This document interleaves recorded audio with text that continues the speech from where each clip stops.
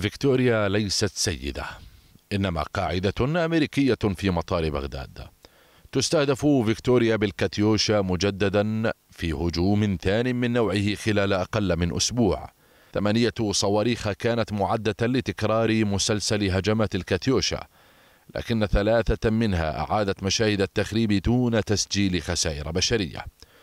وفي مقاربة سريعة فإن استهداف بعثات الدبلوماسيين وكذلك استهداف القواعد الأمريكية ومسلسل الهجمات التي تشنها فصائل خارج إطار القانون يضع الحكومة أمام مصير هيبة الدولة وسيادتها الذي كلما صمتت تلك الصواريخ تعود لتحيي التوتر والفوضى وفجوة الثقة للأمن والأمان. مطار بغداد الذي يمثل واجهة الدولة يضم قاعدة أمريكية لتحقيق هدف واشنطن في دعم بغداد على مواجهة الإرهاب.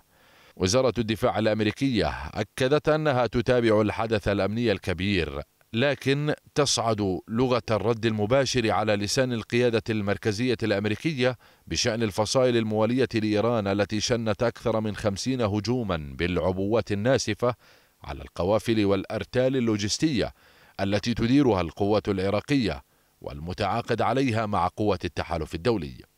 ومع تصاعد وتيرة العبث التي تتهم فيها أمريكا الفصائل الموالية لإيران تجدد أمريكا تأكيدها على عدم تخفيض قواتها في العراق بناء على رغبة بغداد. في التفاصيل بين السطور تمرر واشنطن رسالة المواجهة مع إيران وهنا ما يحتمل الأمرين.